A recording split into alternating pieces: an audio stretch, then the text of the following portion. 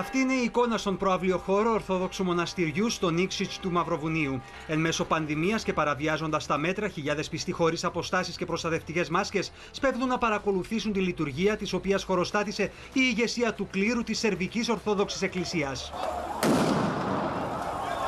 Και αυτή είναι η εικόνα λίγες ώρες αργότερα, όταν η αστυνομία προχωρεί στη σύλληψη οκτώ ιερέων. Ανάμεσά τους ο επίσκοπος Ιωαννίκιος του Νίξιτς και ο Μητροπολίτης Αμφιλόχιος, ένεκα τη απόφασή τους να πραγματοποιήσουν λιτανία παρά την απαγόρευση των συναθρήσεων.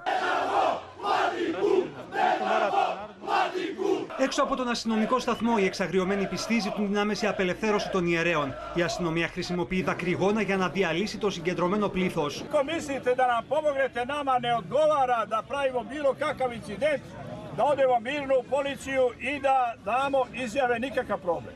Mi ne bežimo od zakona. Σύμφωνα με τοπικά μέσα ενημέρωσης, ο επίσκοπος είχε καλέσει τους πιστούς να τηρήσουν τα μέτρα προστασίας, ενώ στην αντιπαράθεση ενεπλάκη και το Βελιγράδι, που κάλεσε σε αποκλιμάκωση της έντασης. Και όλα αυτά την ώρα που ο Παγκόσμιος Οργανισμός Υγείας ανησυχεί και απευθύνει αγωνιώδεις εκκλήσεις για τήρηση των μέτρων, καθώς ο ιός υπάρχει και θα υπάρχει. This virus may become just another endemic virus in our communities, and this virus may never go away. HIV has not gone away.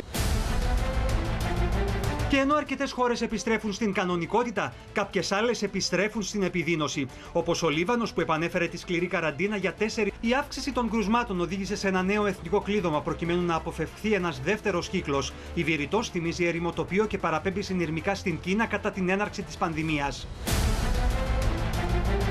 Στην Ελβετία, ωστόσο, η κατάσταση είναι διαφορετική με την κυβέρνηση να συστήνει οδικό χάρτη για άνοιγμα των συνόρων της με γειτονικά κράτη στις 15 Ιουνίου. streben eine vollständige Grenzöffnung am 15. Juni zwischen Deutschland, Österreich, Frankreich und der Schweiz an. Στη σκιά των ευρωπαϊκών συστάσεων για επανεκκίνηση του τουρισμού μέσω διακρατικών συμφωνιών, η Ιταλία αντιτίθεται με τον Τζουζέπε Κόντε να διαμηνύει ότι δεν θα αποδεχθεί de facto διμερείς συμφωνίες που θα μπορούσαν να δημιουργήσουν προνομιακούς τουριστικούς διάβλους.